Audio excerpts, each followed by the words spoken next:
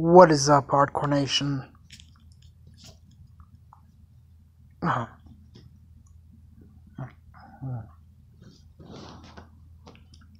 It's Hardcore Christopher here.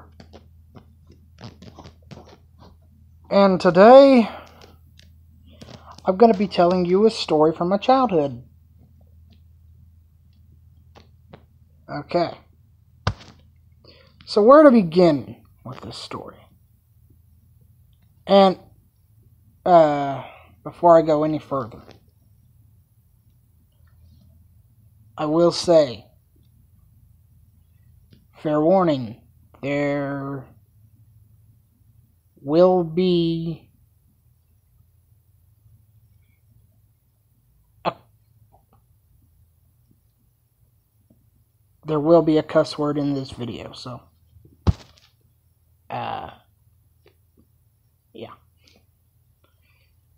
So let's see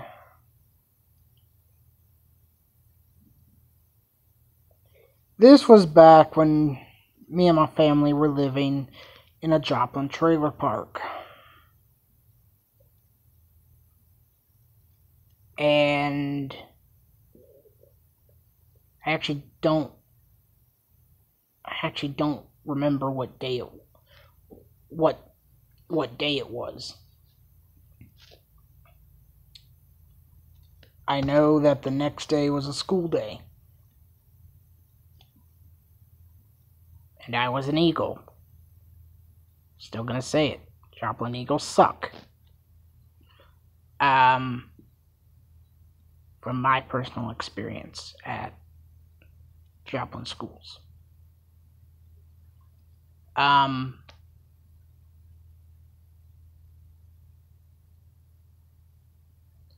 so I was sleeping in the living room on the couch like I usually did. Because for some odd reason, I didn't want to sleep in my room. I guess was because the living room had a bigger TV than my bedroom did. Because I was glued to the TV. Um, So, all I remember is that it was late.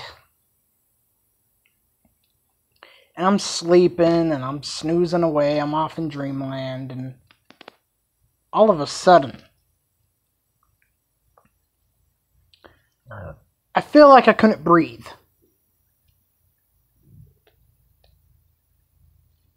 In which I couldn't breathe.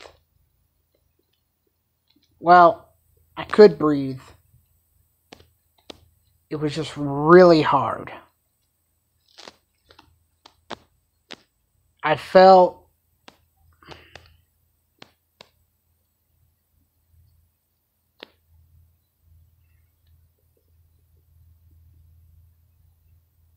I felt scared because I didn't know what was happening to my body.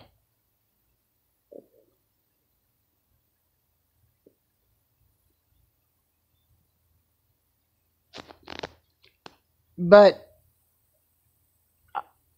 I, I wasn't panicked. I went because to to explain to you guys the layout of our trailer. My mom's room was past the kitchen because at the time my parents had divorced. Divorce was finalized and everything like that. So, uh, it it it happened. It would have either had to have happened in 2004. I'm gonna say it happened in 2004 because that's the only time frame that makes sense to me. Um,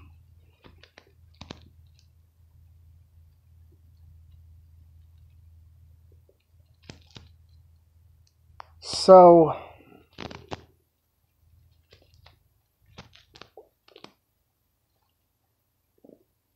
I'm going to give you guys a picture of the layout. You had our front door, and you had our screen door.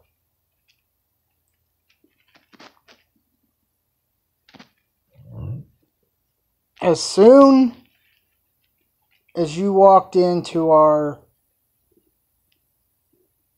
trailer, there was a you were square you stepped into into the living room. And led off and the living room next to the living room was the kitchen and my mom's room was after the kitchen but just if you were to turn to your right, you would uh,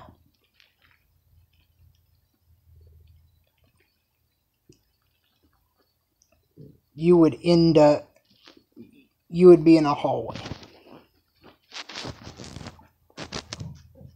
And my grandma my granny, she was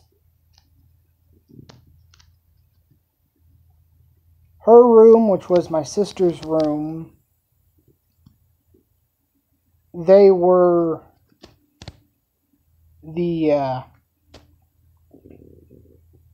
they were the last room on the hallway. So I wake up. I go to I go to my granny, and she wakes up. She says, "What's wrong?" I couldn't tell her anything, and.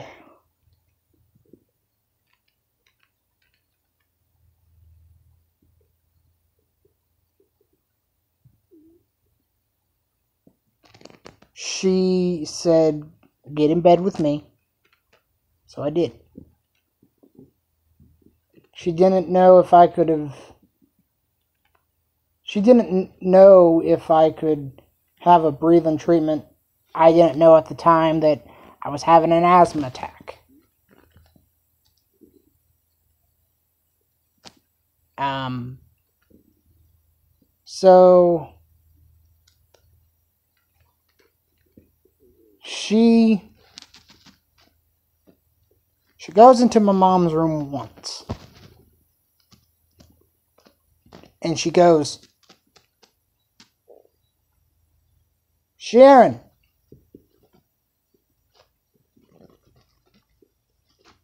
You got a sick kid. I need you. And i guess she said she she would be up in a minute in a minute. Well, a couple minutes goes by, and I will say, I will warn you all now. Cuss word coming in this next sentence. She goes into my mom's room the second time. She goes,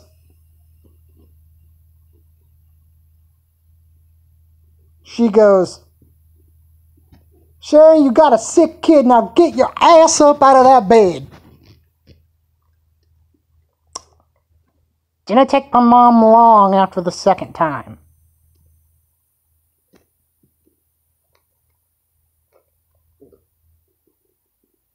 Then she com- she comes to she comes to me and uh, my mom was looking for the breathing treatment, couldn't find the darn thing.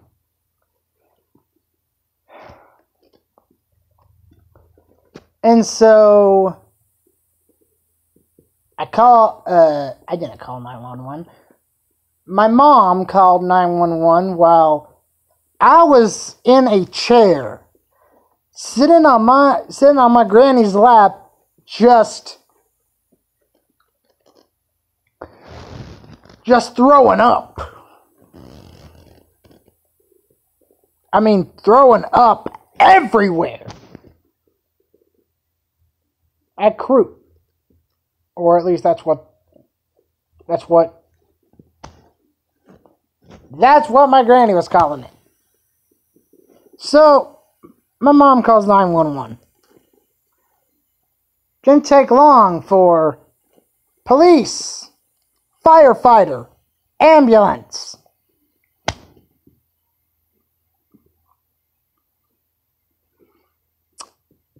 Um, to get to to get to our trailer house. And our and while I'm while I'm hunched over puking my guts out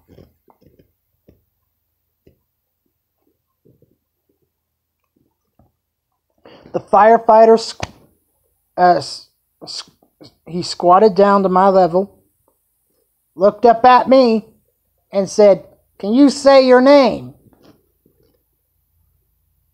now I'm thinking, I'm throwing up, I'm tired. I've been bre- I've been wheezing, I've been breathing like this for a long time.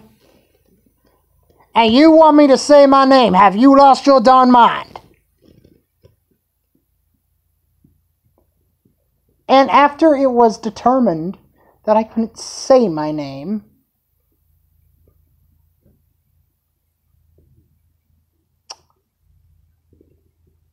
I got to take a ride. I got to take a ride all the way to Freeman Hospital.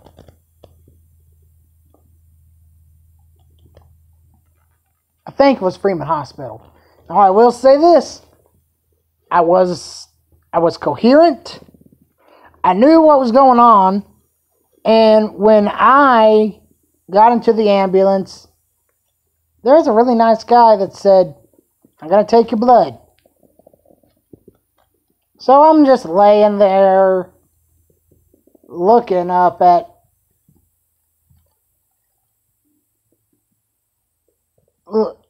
uh, looking up at the ambulance, not even, let's see, I would have been seven at the time, so not even really knowing what was happening to me. And I I remember I remember the guy saying don't move your arm. So I have my arm out flat and he takes I believe he used three needles for three blood draw uh three blood draws. And on the last one I flinched my arm a bit. He goes, Don't move. I go, okay. Well, I didn't say anything, but I was just, I was just thinking, man, what is going on here? I mean, my body's never acted like this. I don't know what's going on. And I, I was, I was afraid that I could die.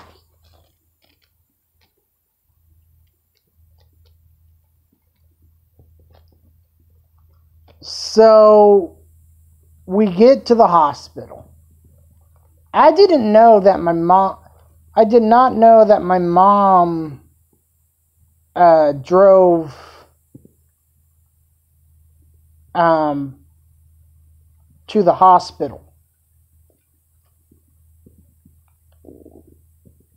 But I could tell she was worried. Worried about her baby boy. Me, I just wanted to know what was going on with me. Not really knowing what an asthma attack was. I knew I had asthma, but I didn't know what an what an asthma attack was. And they take me to a room, they get an IV in me.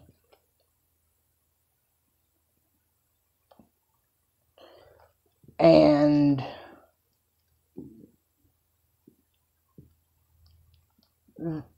they they they told me that you should be getting some water. Well, there was water in the IV, and they were telling me that I should be getting like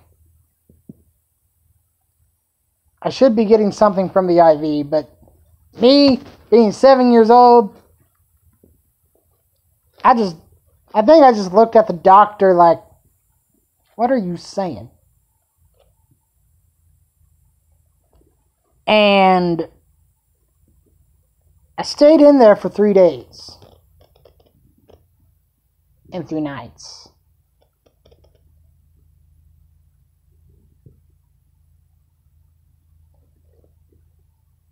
I experienced what, what it was like to sleep on a hospital bed. Found out that hospital beds are not comfy at all. Found out I don't like hospital food.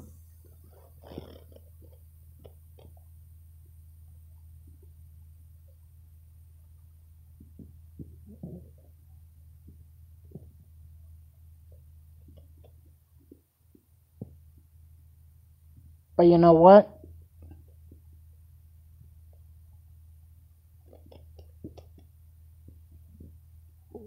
I learned something. I learned the importance of having loved ones. Don't get me wrong, I've all I've always known I've been loved. But it's in times like that where you don't where you don't where I didn't realize how much I was loved. Even though I was 7 years old, even though it took my grandma two times to get my mom up,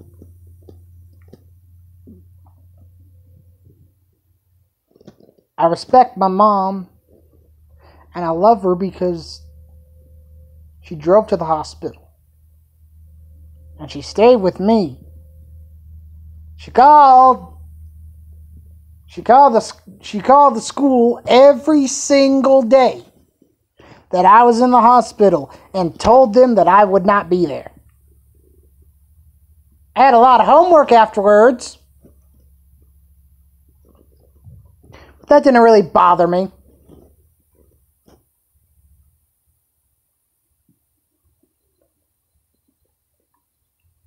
I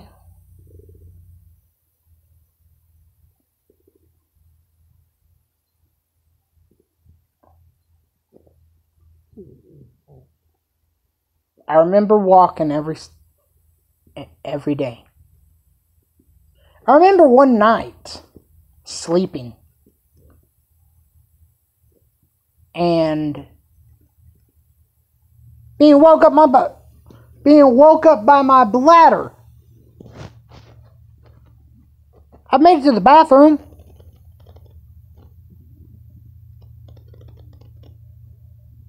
Thankfully.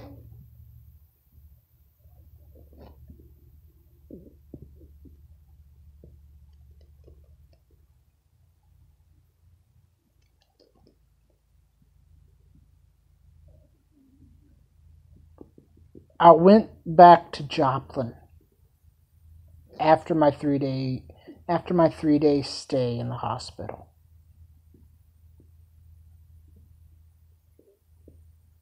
And I remember I had a friend named Evan at, at the time. And he he looked right at me because we were sitting right across from one another.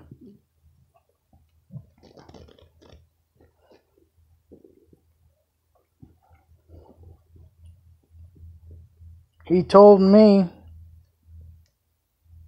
that he picked a great day to come back because it was a Friday when I came back, and after that was the weekend.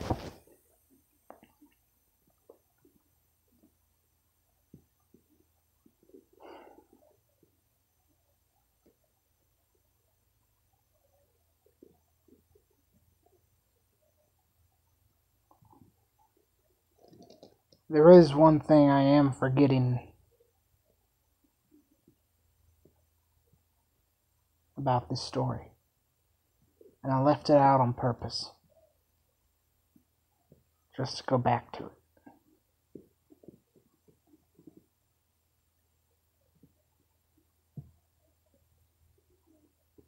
You know,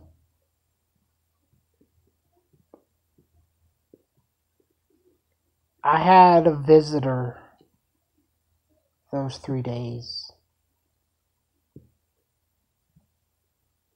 He never missed a day. My dad came and visited me while I was in the hospital. Those three days, he sat and talked to me, talked with my mom, he stayed there up until he had to go to work.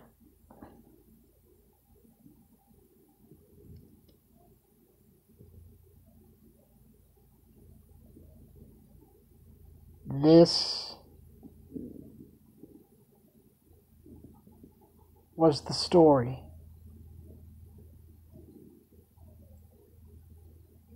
of my first asthma attack. I'm Hardcore Christopher. Don't forget to like, comment, subscribe. And let's meet that 1,000 subscriber mark. Also, don't forget that at 40 subscribers, I will be doing a Q&A video. You can send your Q&A you can you can put your Q&A questions down in the comments below or you can you you can send you can send them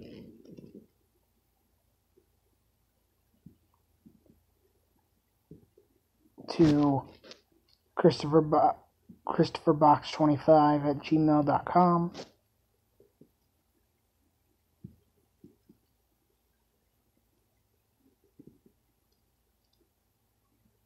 Don't forget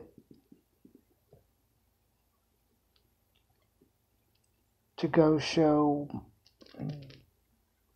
my uh, my friends Spooky Robocat and Tom Masters and Wrestling for Fans some love. I'm Hardcore Christopher.